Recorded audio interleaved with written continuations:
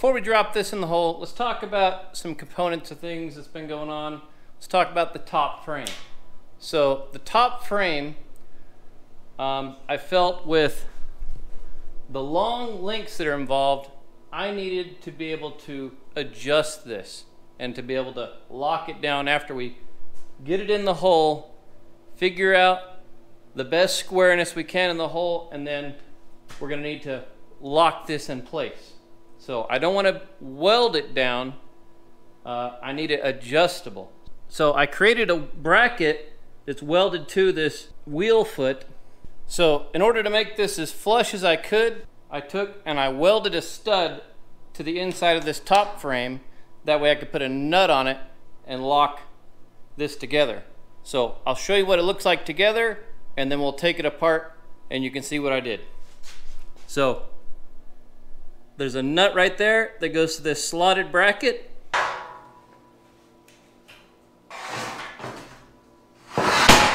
This is what the welded on feet brackets look like. Um, I cut this horseshoe shape in here so that I could keep it flush with the wheel. That way the height would still match the roller side. Um, I did something similar with the feet. It's got a horseshoe. Um, this top one, I slotted it and uh, that's been working pretty good. So I welded these bolt heads on here, these two places. I also drilled a hole in the back and bung welded it in. So those bolts should be in there pretty good. That way I won't have to have a wrench to back it and this side of the frame can stay flat for the floor. So this is what the bottom rail set looks like. Uh, I did the same thing as I did with the top rail. I welded in some bungs and I've been in here trying to level these suckers up. I've had to do it in a couple of layers at a time and I may have to do one more layer. I'm not quite sure. In order to level these, I've been trying this with a mortar mix, thinking that, you know, it should have a really good compression ratio, like a brick house with all the weight of the bricks. Uh, and it's going to be a similar layer of about three quarters of an inch at this end. It's super ugly, and I didn't film it because it was a big struggle mess once again. So I'm going to drop the lift in here and hopefully the mortar doesn't crack. Then if that's all good to go, then I'll go ahead and paint these up. I did paint the bottom side with primer already. Anyway, I've just been chipping away at this every little bit I get after work on the weekends. Lots of little bitty things, but not really anything to show a whole video. All right, shall we commence with the ridiculousness? Let's get it on.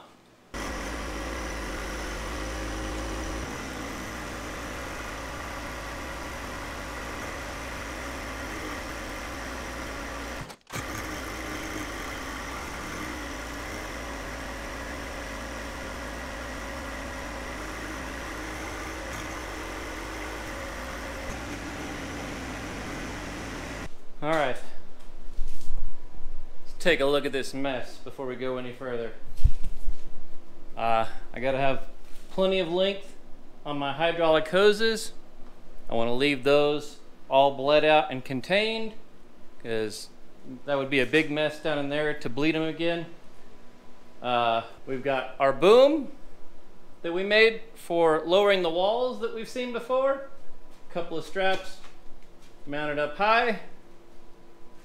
Then we've got four additional straps coming down. A strap up here so that I can control the angularity from the tractor with my tilt. Um, and I've got a strap here to keep the frame from opening up wider than what we want. Our boom has about six and a half feet of clearance here so as it goes down the hole, it should let it continue going with the tilt function all the way down.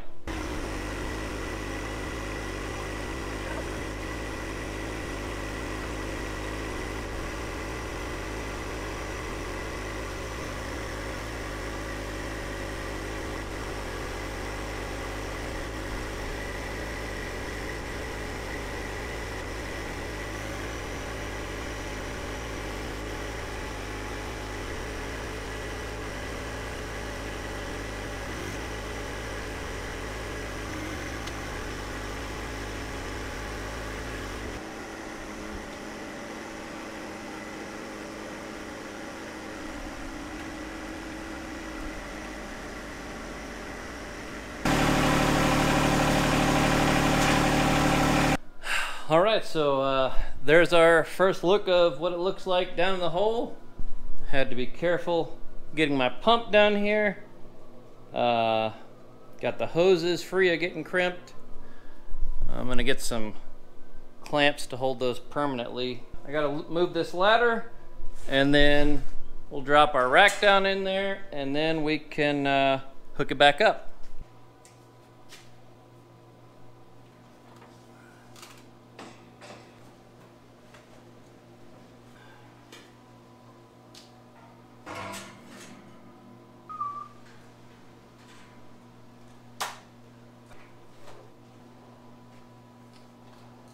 Got my batteries hooked back up.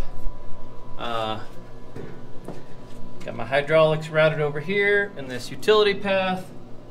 Uh, my battery cables go back behind here uh, where we got that retaining wall.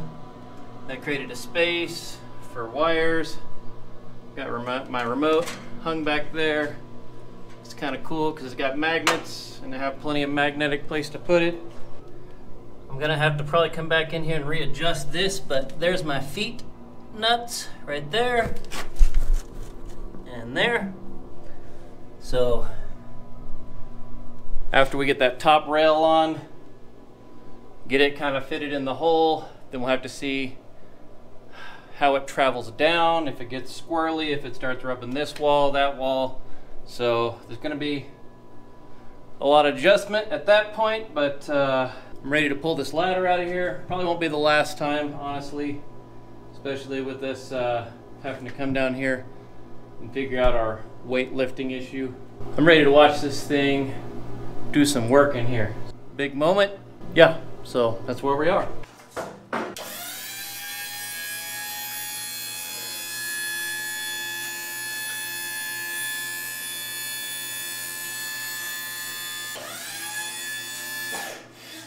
Okay, well that's all the way up, and uh, the good news is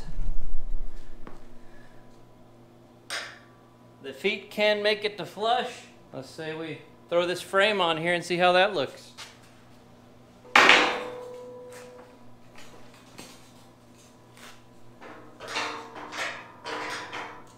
Okay, uh, we got our nut there, slightly cinched down. We've got enough clearance to do a run or so, but uh, it's looking good so far. Let's put a few floor plates on here and let's uh, see how this thing looks.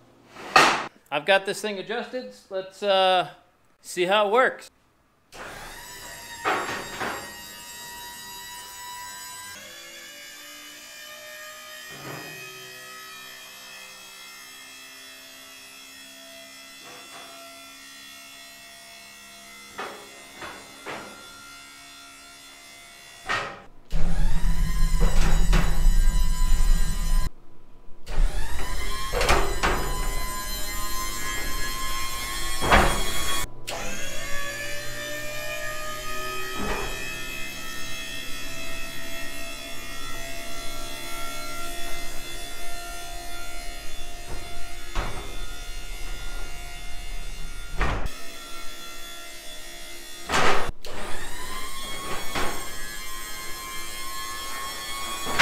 It's working pretty good, and I mean, if I have to change the oil now, it'll be super easy.